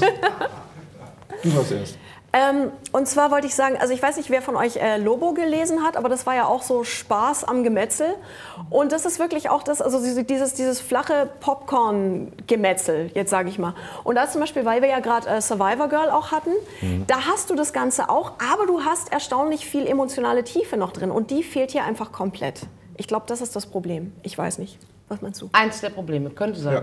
Was- also wie ich sagte, für fünf Minuten ist es die Grundidee witzig und dann wird es anstrengend, Ja, finde es ich. wird anstrengend. Ähm, ich war angestrengt. Ja. Und äh, es kommt dann ja auch an sich nichts Neues. Sie versucht halt auszubrechen und scheitert halt jedes Mal wieder. Ja, ja. Ähm, ich weiß nicht, ich dachte auch, mir, mir schließt es sich vielleicht nicht. Ich habe mal so einen kleinen Test gemacht und habe bei mir so im Laden die Kunden, die sonst eher Manga lesen, mal gefragt, ob das nicht was für sie wäre. So dieses freche Mädchen und I hate Fairyland und cool und so. Und da war es genauso. Ja, klingt ganz witzig. Durchgeblättert. Nö, Lust zu lesen hatten sie das eigentlich nicht. Was ich nicht verstanden habe, ist, dass er ganz zum Schluss, das ist mir auch aufgefallen, dieses Fuck Fairyland hinten reingepackt hat. Und aber diese ähm, explicit Lyrics am Anfang äh, so ganz schlecht umschrieben hat. Also wir haben jetzt, jetzt zum Beispiel bei uns äh, äh, auf unserem neuen Album haben wir zwei Stellen drauf, wo es auch um die Wortwahl geht und wo man eigentlich, wo wir auch lange überlegt haben, soll man es jetzt sagen, soll man es nicht sagen, wo wir einfach gesagt haben, dann sing halt stricken. Ge- Gemeint ist nicht stricken. Aber, aber sing, es, sing es mit einer Verstehe. Souveränität und mit einer, mit einer, als ob das Normalste von der Welt ist oder sing auch mittendrin einmal, auch wenn es sich gar nicht rein, beinahe hätte, beinahe hätte ich es gesagt. Wobei, das So. finde ich also an der deutschen Übersetzung putzig. Ich weiß nicht, wie es im Original ist, aber zum Beispiel Leck mein Die Anis und so in dieser das Feenwelt. ist Das ist aber der gute. Aber ne? da Ja, sind, das ist gut, aber- Ja, aber das sind auch ein zwei, drei Dinger dabei, wo man wirklich sagt so, oh komm, du schreibst hinten Fuck rein und vorne schreibst du dann, umschreibst du das dann. Da, da hätte ich dann irgendwie gedacht, da geht auch ein bisschen mehr. Mit Leck mein Anis, okay, das mag ja noch gehen. Aber äh, das, das fand ich noch so ein bisschen originell. Aber das andere habe ich gedacht so, ach, weiß ich nicht, das geht ja auch, irgendeiner textet das ja auch. Und dann, dann, dann kann er auch, dann kann er sich auch immer fünf Minuten auf die andere Seite im Bett legen und sagen, vielleicht fällt mir noch was Besseres ein. Also da habe ich, so das Gefühl gehabt, so. Ich weiß nicht, wie es im Original war. Ja, aber auch das ist ja, in dem Fall ist es ja, wenn du so einen Wortwitz machst und wenn du das, das schlimme, böse Wort vermeiden möchtest, um irgendeine FSK 21 oder drunter zu schaffen, dann, dann, äh, äh, dann weiß ich nicht, dann, dann, dann, dann gibt die Sprache ja mehr her. Also da fand ich, bis auf Ani, Anis, fand ich es äh, ein bisschen. Das fand ich noch mit am putzigsten, diese, dass halt wirklich, also alle Schimpfworte und Schimpfkanonaden werden immer durch sehr blumige andere Worte so über, äh, überschrieben, sodass die nicht zu sehen sind. Aber da wäre mehr gegangen, weil dann, dann kannst du im Wortlaut auch mehr machen. Also, naja, ich wollte was wenn Positives ich schon auf. Strecken komme. Ja, finde ich auch sehr lieb von dir. So, ich, ich bin verlakritzte 37 La Jahre alt oder Ja, genau. Das wird immer durch Süßigkeiten ersetzt. Ja. Ja, ja, genau. Aber wo man sich letztlich fragt, also auch warum? Also es ist heiter, aber es ist nicht. Eben, das meine ich. So, da, wenn du hinten dann auch Fuck Fairyland reinschreibst, dann sagst du in Gottes Namen auch. Und es ist ja zum Teil auch. Ja. Und wo wir, wo wir schon bei der Sprache sind, ist, und das ist jetzt eine Anmerkung, ähm, die äh, Schrift, die die benutzt haben für die, für die Sprechblasen, ich finde die ein bisschen schlimm. Also, das ist, also ich meine, klar, natürlich, das lettert auch keiner von Hand, aber dass man einfach eine nimmt, die wenigstens handgelettert aussieht, weil du hast die Art, wie es gezeichnet ist, also dieses Ja. rotzige, aber dennoch sehr kompetente. Und ich finde, da knallt diese Schrift dagegen, das verträgt sich überhaupt nicht. Was ich aber toll finde, ist diese rosane Umschlag innen drin, den finde ich klasse. Den was? Ja, dieses da drin, da, das finde ich sieht süß aus. Ja, Wir haben, mal, wir haben mal eine Platte gemacht, die geheimen Tagebücher des, des Dieter B., so eine Radiokomödie und da haben wir auch so, so ein Tagebuch gemacht, wo wir dann ähnlich wie damals die anderen Tagebücher, äh, da haben wir dann auch nicht DB genommen, sondern irgendwas anderes. Ach so. Äh, äh, äh, falsche Buchstaben und da haben wir auch so, so Blumentagebücher gemacht. Ich habe mich daran erinnert, das fand ich eigentlich ganz, ganz süß so. Aber wegen des Innencovers kauft ja auch keiner ein Buch eigentlich. Ne? Also nochmal die Farbigkeit. Die Farbigkeit prinzipiell ist hinreißend. Die einzelnen Biester, die da rumsitzen, sind wunderbar. Also permanent diese Mischung aus Alice. Das Schwein ist auch süß. Alice, ja, hier das Pink Schweinchen mit den Flügeln. Diese Mischung aus Alice im Wunderland und, und, und Oz und Star Wars und alles, alles vermatscht, was nicht bei drei auf dem Baum ist. Alles, was irgendwie Märchen ist oder Fantasy ist, verwoben und verbraten. Und zwischendrin halt immer dieses unglaublich schlecht gelaunte Ding mit den, mit den grünen Haaren. Das es ist so- ist, das ist nichts für einen Helly. Du gehst immer weg, wenn ich dir was zeigen will, Chris. Gut, das ist die erste Show heute Abend. Wir beide werden uns noch eingrufen. Komm noch mal bitte zum Helly. Schau mal bitte hier. Die Seite, die Seite, Schon ein schönes Bild, ne? die Seite wollte ich zeigen. Ähm, das ist schon toll gezeichnet, aber es wird eben auf die Dauer Fahrt, weil sie permanent alles abschlachtet, was ihr in die, Quer, in die Quere kommt. Ja, und es ist ein bisschen so diese Skateboarder-Ästhetik, so, so Mädchen mit grünen Haaren und Blutsprotz. Warum gehst du immer? wenn, ich, wenn ich dir doch, guck mal, wie schön. Da ist sie zum Beispiel komplett kaputt, aber sie überlebt trotzdem. Ne? Das ist auch Hier, das ist wieder, wenn du mal gehst, kannst du unten rechts auch nochmal hingehen. Das ist wieder total süß. Die dicke Katze mit dem kleinen Gnom. Na, das ist so, also ja, es ist durchgeknallt. Ich weiß nicht, hast du mal Haschisch genommen? Muss man dazu, muss man irgendwie bekifft sein, um das richtig ab, um darauf abzufahren? Ich, glaub, ich glaube, dann geht es um andere Bilder. Also, äh, ich habe mich davon gewundert. Ich, ich habe immer gedacht, er ist so ein bisschen wie Willi, oder nicht, von Biene Maya, da dieser. Willi ist eine Biene. Das ist ein Grashüpfer, Ja. die Nase. Ja, der hat überhaupt, wenn überhaupt hat er eine Ähnlichkeit Aber mit, ist- mit, mit ja, hier, so als- Kü- Küss den als- Frosch, mit hier, Bra- äh, Angel, hier, äh, Ja, jetzt geht's aber los. das Glück, bitte. Diese, kannst du noch mal kommen, lieber Chris? Oder ist es der blaue Klaus? Flip hieß der Grashüpfer, falls du den Flip, du meinst Aber das ist doch Flip. kein Grashüpfer, der fliegt doch. Pass mal auf, das hier ist eher sowas wie Jiminy Grille. Ne? In, mit, mit, mit, mit Basedorfschem Augengedöne. Der hat eher Ähnlichkeit mit dem Glühwürmchen aus Küss den Frosch. Ja, aber ist er nicht, hat er nicht die Funktion so ein bisschen wie Ja, er hat ein bisschen die Fiktion, Das meine ich. äh, Funktion. Er hat äh, die ist- Fiktion auch schon. Er, er ist ein Sidekick und aber als wenn er ein Gewissen sein soll, hat er ja komplett versagt, weil sie schlachtet ja trotzdem alles. Ja, ja, klar. Gut, wir haben darüber gesprochen. Ich bin, bleibe ratlos zurück. Ähm, ich weiß gar nicht, du kennst dich doch aus hier im Sender. Haben wir so E-Mail-Adressen, dass Menschen uns vielleicht, die die Sendung gesehen haben, mailen können? Oh, lieber Wer- nicht, du. Das kann ja sehr Bitte? beleidigend wirken dann. auch. Das können Sie gerne tun. Sie können das auch sicherlich im Nachhinein einblenden, an welche E-Mail-Adresse ihr euch sonst Ja, das eure ist schön im Interpretation Nachhinein weil ich fände es einfach schön, wenn richtig ausgewiesene Fans mal schreiben, was ihnen daran besonders gut gefällt. Und das würde ich gerne in der nächsten Sendung dann, da kann ich es nicht, in der dritten Sendung Weißt würde ich du es was? gerne. Wir haben in der nächsten Sendung den Joachim Kaps da vom Verlag. Meinst du, den sollten wir noch mal fragen? Dann Ja. lasse ich das Buch mal hier liegen bis zur nächsten Sendung und werde ihn fragen. Der hat das ja auch selber ausgesucht, ne? Ganz Ich glaube liebevoll. ja. Der, kann, soll was, der erklären. kann was dazu. Genau, was habt ihr euch dabei gedacht? Wieso hier? Das ist doch ein Popcom erschienen. Popcom ist nur so ein Nebenlabel von Tokyo Pop. Ja, dann wird er das am Ende wissen. Das ist eine gute Idee, das machen wir. Und bis der Joe Cups in der nächsten Sendung bei uns ist, haben wir noch einen sehr interessanten letzten Titel, den wir Ihnen gerne und euch vorstellen würden.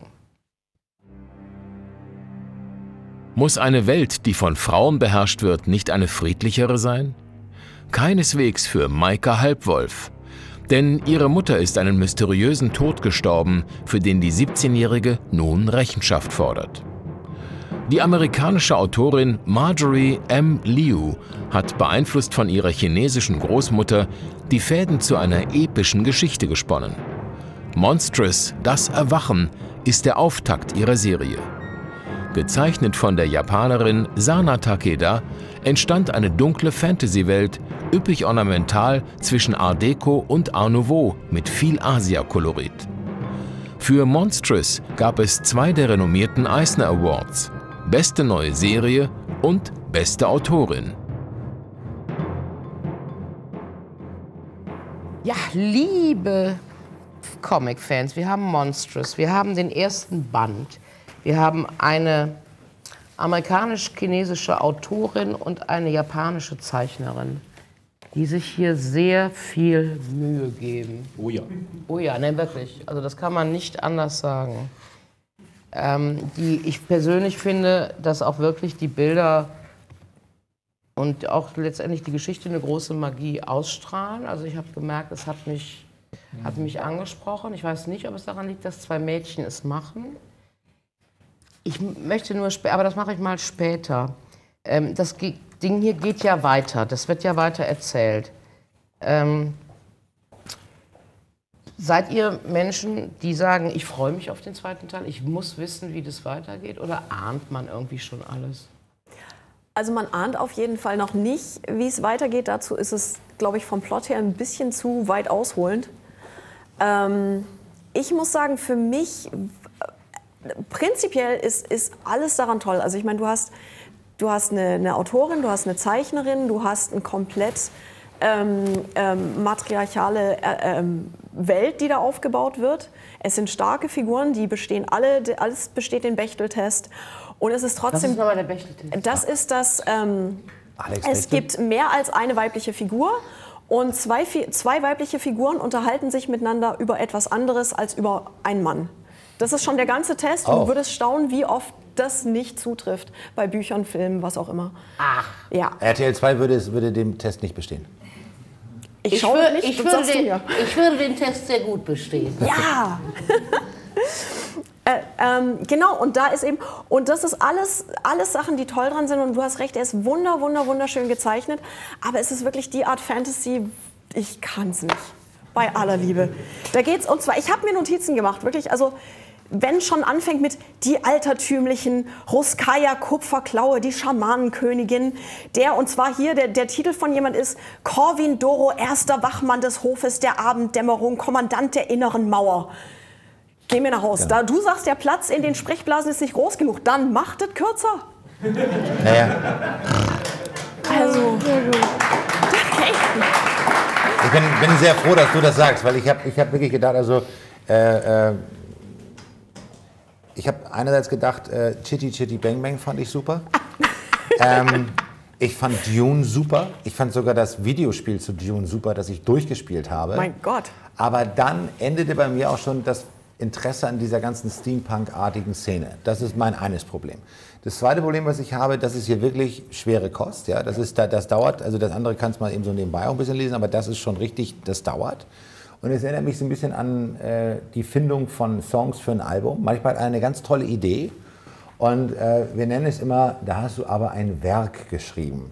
Das heißt so viel wie, wir müssen auch ein bisschen daran denken, dass wir Miete zahlen. Und ein Werk besteht oft aus vielen unnötigen Tonartwechseln und meistens ist es nicht unter 47 zu kriegen.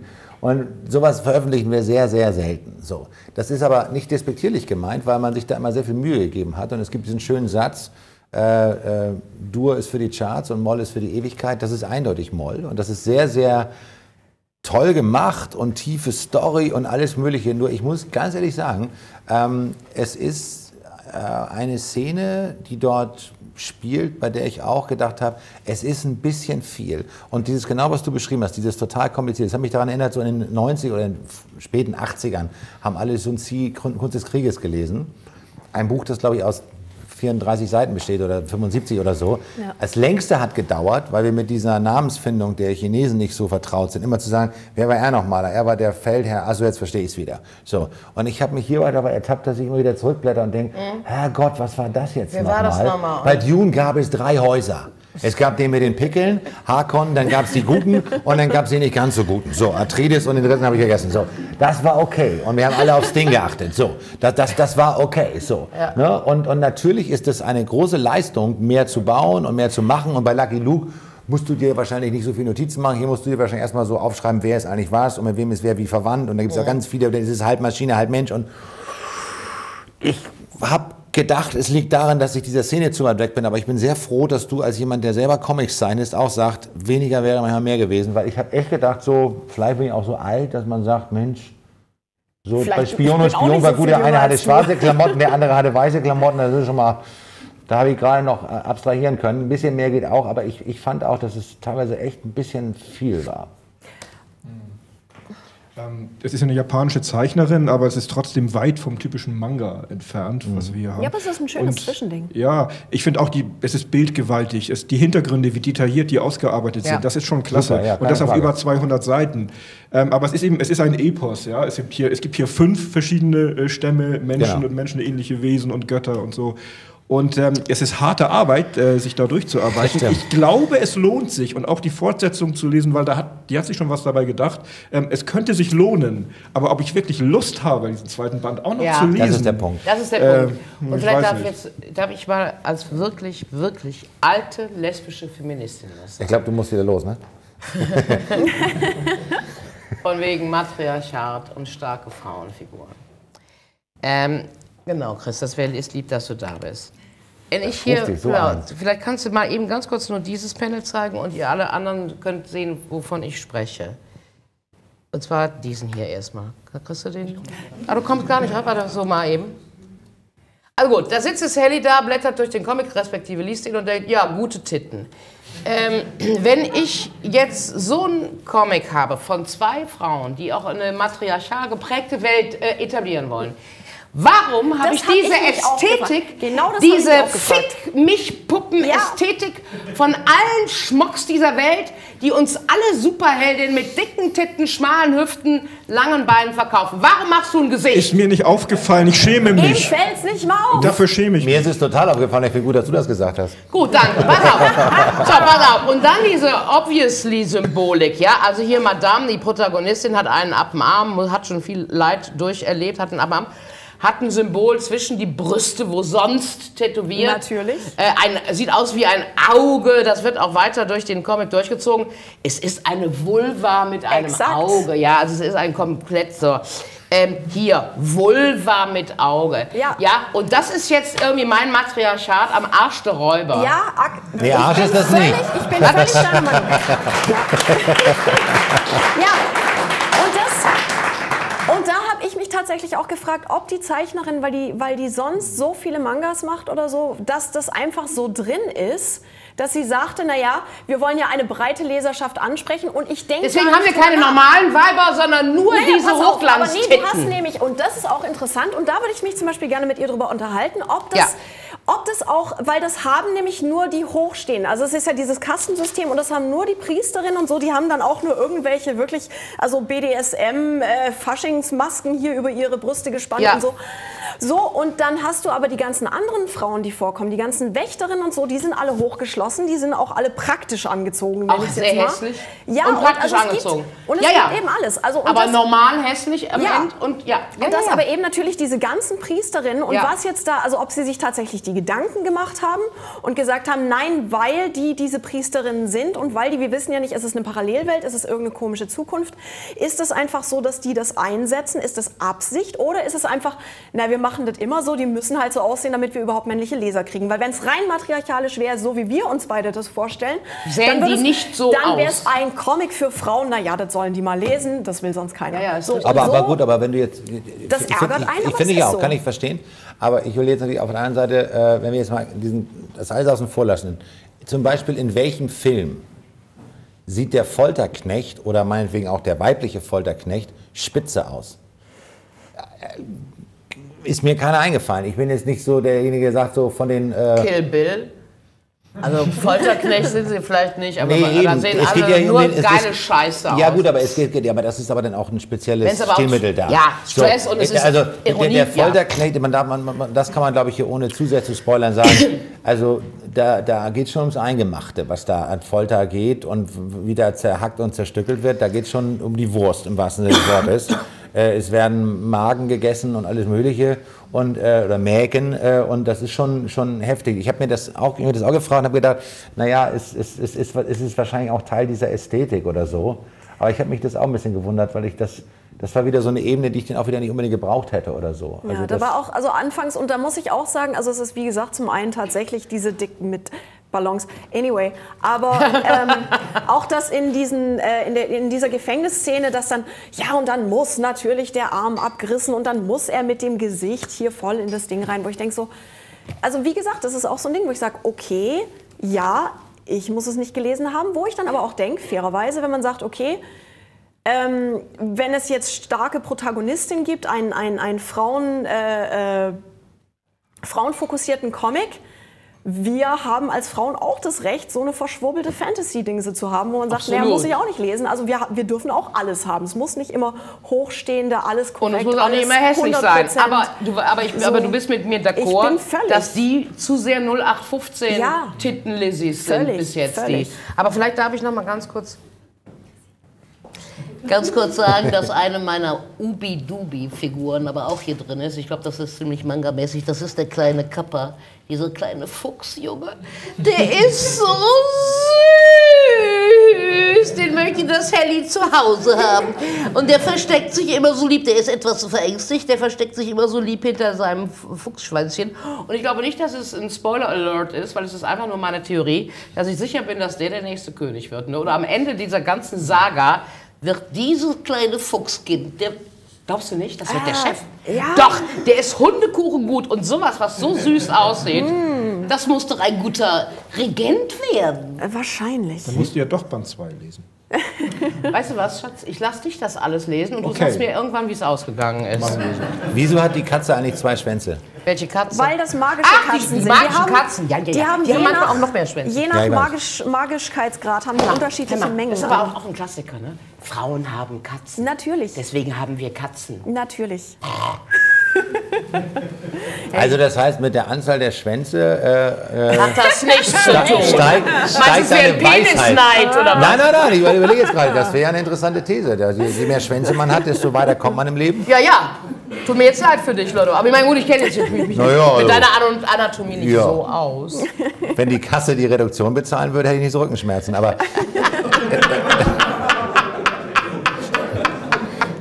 ich danke Martin Kräuter für diesen tollen Witz, den er mir vor Jahren erzählt hat und den ich immer gerne wieder raushole.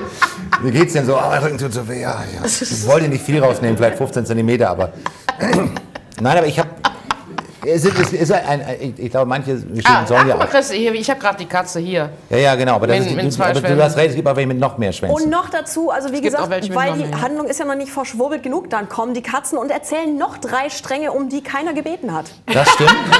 Das stimmt.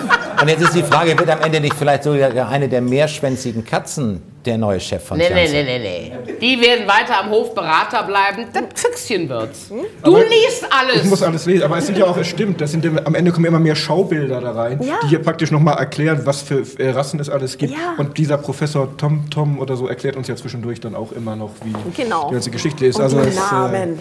es ist schon, man muss sich nebenbei wirklich so kleine Bildchen malen, um den Überblick Man sollte so eine. Liste vielleicht machen, mal so wer ist wer, man Das nochmal ist schon, hat aufschreiben. schon So. so Herr der Ringe-Dimension. Ein, ein Punkt, oh, nee, was wolltest du? Nee, nee, ich wollte sagen, ich habe ja mal auch, auch eben für den Comic Talk dieses Saga von Vaughn gelesen. Da war ja auch sehr viel los. Dennoch konnte man da ein bisschen besser den Überblick behalten, fand ich so, als vielleicht Laie von, von Sagen. Steht Äh, übrigens direkt hinter dir. Aha, tatsächlich. Hör mal, geile Scheiße. Geile Scheiße. Hast du mal gelesen? Das ist geil. Aber man hat mir versprochen, ich kriege jetzt die anderen Teile. Ich habe ja nur den ersten noch gelesen. Sechs gibt's schon. Gemein. Gibt es nämlich schon sechs und ich habe sie nicht. Egal, ich kriege sie. Ähm, da, war auch, da wurden auch unheimlich viele Leute etabliert und eingeführt und trotzdem hatte man besser den Überblick als hier bei Monstrous, oder? Ja, ist richtig. Das ist nämlich auch eine Kunst, finde ich. Äh, voll, also wenn du schon eine Saga erzählen willst, okidoki. Aber es ist auch eine Kunst, die Leserin, in meinem Fall mich, nicht direkt nach fünf, sechs, sieben, acht, neun Seiten so zu erschlagen, dass du denkst, okay, wenn ich das jetzt nicht im Comic Talk besprechen würde, würde ich es mal schön wieder ins Regal stellen. Exakt, ja. Oder? Ja. Was ich dann noch sagen wollte, ähm, was mir bei dem Band auch aufgefallen ist, äh, der hat ja auch eine sehr spezifische Sprache. Der ist ja auch schön in diesem, diesem äh, Sagen, Fabel, Tralala und so. Und da, ich weiß nicht, wie das, also man hat ein, zwei Momente, wo du sagtest, wo man genau weiß, wie die englische Begrifflichkeit war und es wurde so eins zu eins ein bisschen knirschig übersetzt. Fand ich aber nicht so schlimm. Aber schwieriger fand ich die, die Tonale, weil es geht dann von Sätzen wie, das Blut des Halbwolfs ist stark in euch allen, zu, ich habe das ausgecheckt. Wo du sagst, Alter, ihr seid in der Fantasy-Welt im Mittelalter, da checkt gar keiner irgendwas aus. So, und dass man da nicht ein Ich bisschen glaube, das, schaut, aber dass diese, man... diese Dinge, die, die, diese Dinge, das machen die, glaube ich, gerne. So, eigentlich sind wir im Stilbruch. Mittelalter Ja. äh, und Stilbruch, das finden die, glaube ich, besonders fluffig und originell und vielleicht auch catchy. Meinst du? Dann ich, Aber den Eindruck hatte ich auch, ja. Ich habe ist aber Absicht, ja. ich. Na, in deinem, gut du ist, hast ist ja eine bei andere deinem, da, da hat mich tatsächlich auch gestört. Du hattest einen Satz, wo das Kanu von, äh, von Asterix und Obelix äh, aus dem Baumarkt ist oder so. Irgendwie sowas war da. Wo ich auch dachte, nee, der Baumarkt, der darf da nicht drin sein. Du musst schon da Also wir bleiben. hatten einmal die Szene, ich hätte gerne einen Helikoptereinsatz befohlen, wenn der Helikopter schon erfunden worden wäre. Da ist es fair, da wird es erklärt, dass Okay. es das noch nicht gibt. Und wir das hatten die Situation, das- dass... Zum räudigen Kanu, das war das. Genau, das Kanu aus Ach dem so, aus dem Baumarkt. Baumarkt, ja, das ist so, äh, Ja. ja. aber das ist so umgangssprachlich ist so, auch wenn einer so scheiße gekleidet ist, dann so die Klamotten aus dem Baumarkt oder so. Ja, Ja, das ist, glaube ich, Hamburger, Hamburger Speak. naja gut. Ja, also das, das, ich bin großer Baumarkt-Fan, also ich bin kein guter Handwerker, aber ich liebe es, im Baumarkt rumzulaufen, finde das Ja, wirklich super. also ich finde aber, ich weiß genau, was du meinst. aber, aber wir haben ja bei, bei dem, was ich da gemacht habe, jetzt nicht diesen Anspruch der großen Das Kunst. wollte ich sagen. So, Also und, für- das ihn- ja, das nee, Für das war ja vor allen Dingen äh, der Charme, da so viel Hamburger Nee, das äh, Couleur völlig- Also auch bei, bei, bei geht. Das ist, völlig ist ja ein richtig. Buch, wo du im Prinzip sagen kannst, wenn du jetzt auf diese Szenerie stehst, dann kannst du ja jedes zweite Bild aus dem Buch nehmen und dir in dreimal zwei Meter an die Wand hängen, weil das toll gezeichnet ist. Ja. Das wäre jetzt bei, bei einem Asterix oder Lucky Luke Band eher ein Aber bisschen deshalb fand schrullig. ich eben, weil du sagtest, weil du, du sagtest ja also Anfang, dass dich die Magie von dem Buch schon geholt hat und dass du da auch so ein bisschen rein bist. Und ich finde gerade bei so Übersetzungssachen, das geht einen so ein bisschen raus. Und das finde ich schade einfach. Ja, ich weiß, was du meinst. Das hat mich, glaube ich, nicht so gestört. Weil, weil, ja, ja, weil man irgendwie nicht genau weiß, wo ist man eigentlich. Das stimmt natürlich auch. Wo ist Ja. man eigentlich? Ja. Und warum sollen die nicht sagen, hör mal, checkst du das nicht? Oder so. War die Also, einzigen Sätze, die ich verstanden habe. so. Ach, ihr Lieben, mit euch spreche ich am liebsten. Möchtest du etwas sagen? Nee, nee, ich Mein warte gespannt Volker? auf den nächsten Band und werde dir berichten, wer König wird. Ja, bitte. Aber Also gibt, es nicht, gibt es nicht zehn, wird es nicht zehn Bände geben oder so? Vielleicht, also so wie es jetzt sich anlässt, wird es noch ein paar Bände Ja, aber mehr. wenn das- Deswegen, wir, wir sind ein Alter, wir haben es schon Immer so besprochen, also ich bin nicht sicher, ob wir, das, das kann schon noch dauern. Ne? Also, so wie bei George Martin, wo du wartest, ob du es noch erleben wirst, das Ende des vielleicht ist das auch der Gag irgendwann, dass man sagt, und es gibt immer noch weiter. Und dann kommt die Mutter irgendwann. Also Ich wenn halte du dich da, auf dem Laufenden. ich hoffe, wir sitzen so lange hier, dass, du, dass, dass das Ende von Monstrous erzählt wird. Und dann erzähl mir bitte, ob der kleine puschelige Das muss unser Ziel sein, dass wir das Ich erleben. gönne es ihm, wenn es dich freut, erfreut, dann gönne ich es ihm wirklich. Ich werde ihm Daumen drücken, dass er das wird. Lado, ich möchte mich bedanken, gerade bei dir, dass du gekommen bist heute bei, bei, der, bei unserer ersten Alster-Filmsendung hier ähm, vom Comic Talk. Viel Erfolg dir und deinen Jungs für das Album im Mai. Toi, toi, toi, cross my fingers. Viel Erfolg für den HSV, der kann es brauchen. Wobei, die haben sich jetzt die letzten Wochen gut berappelt. Also alle kein Heimspiel verloren seit was? Fünf, sechs, sieben, acht Spielen? Ja, Vielleicht so, wir sind äh, Ende März. ja wollen wir mal sehen, das ist ja. Ich, der Chef meiner Plattenfirma hat mich noch gebeten, zu sagen, das Album heißt 360 Grad. Und Sehr die Sing- gerne, Und die Single heißt 360 Manuel Grad. Neuer. So. Natürlich. Was, was, was mit Manuel Neuer? so heißt die Single. Ach, das ist ja originell. Ja. Und, und äh, singt ihr über Manuel Neuer? Oder? Ich habe von Manuel Neuer ein Autogramm, falls es einen Sehr gut. interessiert. Sehr gut. Ähm, ja, wir singen, also ich singe über Manuel Neuer, aber es geht dabei eigentlich um diesen Werbespot mit Manuel Neuer. In den Schuppen? Nee, die anderen mit der, mit der Cola. Naja. Weil wir, wir haben immer so Witze gemacht und, und äh, ich, ich mag Manuel Neuer. Ich, ich glaube, er ist ein, einer der, der größten Torhüter, vielleicht der größte, den ich bislang gesehen habe. Äh, äh, Finde ich schon ein sensationeller Ja, Spieler. Timo Horn folgt ihm dicht, aber und gut. folgt ihm. Mag Nein, nein, ist also, toll, es ist äh, toll, klar. Trinkt er so viel? Er folgt ihm dicht? Nein. Äh, so, und, äh, Ah, du guck mal. du so. pfiffiges Nein, und wir haben immer so Witze gemacht. Wir, wir, wir haben immer so, so, wie, wie, wir haben immer so gesagt, Mensch, wenn du willst, sind wir gar nicht in Kiel, sondern wir sind in Manuel Neuer.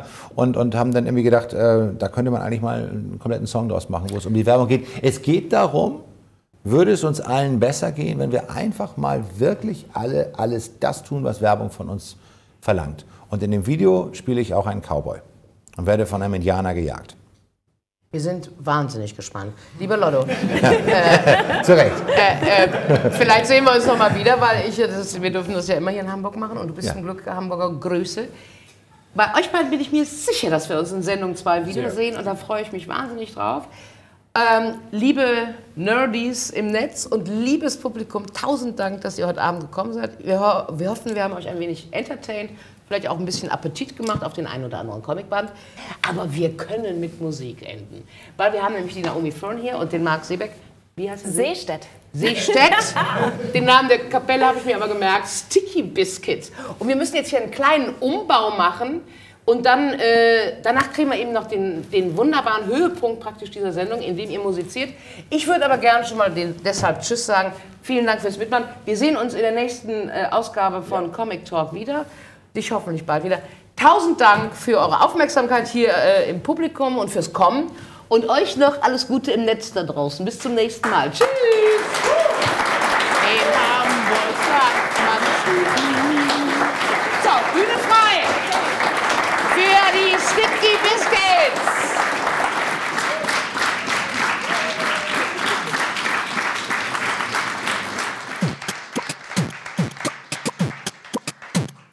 We were on another date.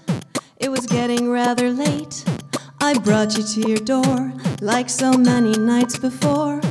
But as you turned to say goodbye, I thought I'd give it one more try. And I leaned over and I whispered in your ear, my dear. Would you like to be my sock puppet? Show me your cunt and let me fist fuck it. Would you let me linger with my palm and all my fingers so deep inside of you?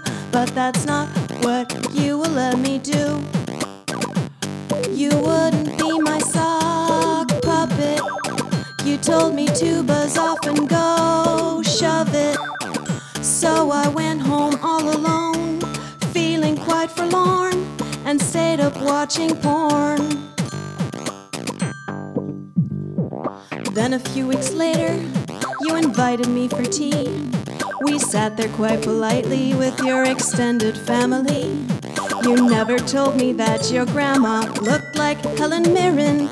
I felt something stirring, and since you had said no, I thought I'd go and give it a go. Can you guess what I did? Mrs. Appleby? Would you like to be my sock puppet? Would you like to feel my hand up it? Even though you're old and wrinkly, I could make your eyes all twinkly if you just let me try. And they say to try it once before you die. Be my sock puppet, like I'm Jim Henson and you're the Muppet. Would you let me slide my hand deep inside? Cause that's where I like to hide my keys and my wallet and my phone. Be my sock puppet. Pretty sure that you'd love it. And now she can't get enough of fitting me like a glove. My love.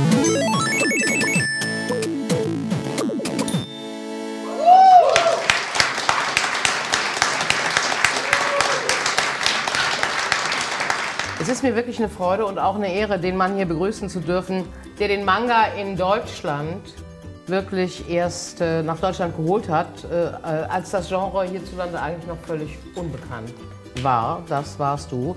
Joe Cups ist hier, meine Damen und Herren.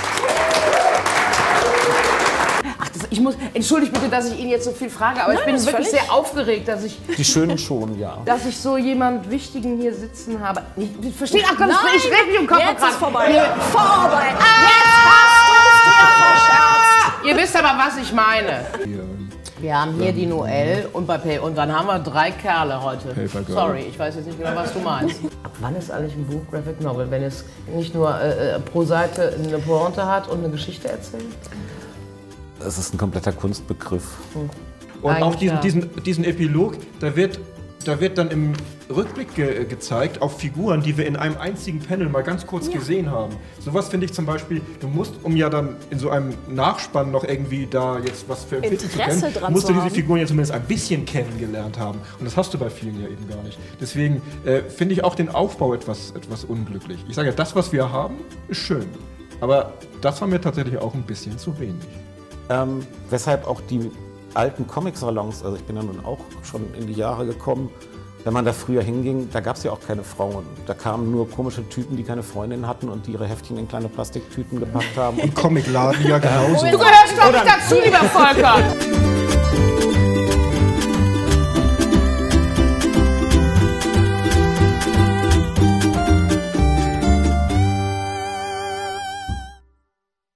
Massengeschmack TV. Gleich anmelden und 14 Tage kostenlos testen.